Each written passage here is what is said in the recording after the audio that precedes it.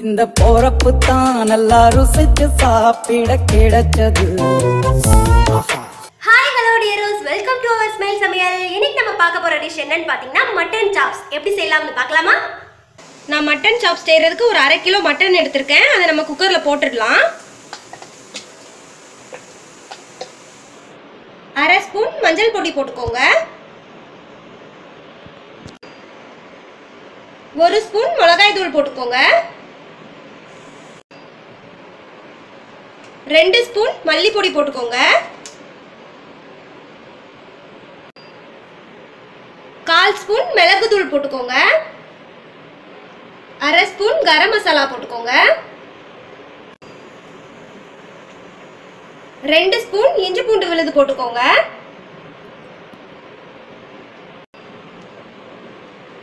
உங்க டேஸ்ட்டுக்கு தகுந்த மாதிரி உப்பு போட்டுக்கோங்க. ஒரு நூறு கிராம் தயிர் ஊற்றிக்கோங்க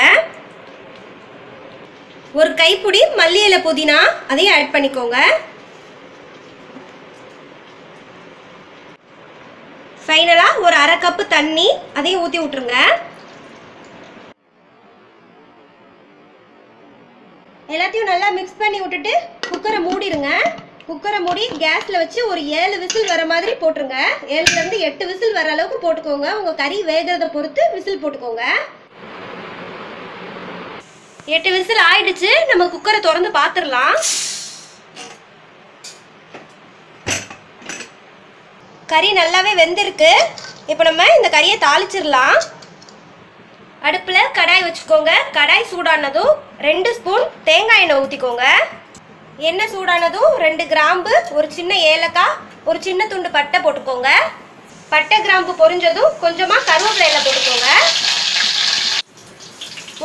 ஒரு சின்ன வெங்காயமும் ஒரு மீடியம் சைஸ் பல்லாரி வெங்காயமும் ஸ்லைஸ் ஸ்லைஸாக வெட்டி வச்சுருக்கேன். அதையும் கருவேப்பிலையில பொறிஞ்சதும் பொரிஞ்சதும் போட்டுடலாம். வெங்காயம் வேகிற அளவுக்கு லைட்டாக உப்பு போட்டுக்கோங்க. வெங்காயம் நல்லா கோல்டன் ப்ரௌன் கலரில் மாறணும். அது வரைக்கும் நல்லா வேக விட்டுருங்க. நல்லாவே வெங்காயம் ப்ரௌன் ஆயிடுச்சு. இந்த ஸ்டேஜில் நம்ம வேக வச்சு வச்சுருந்த கறியை ஆட் பண்ணிடலாம்.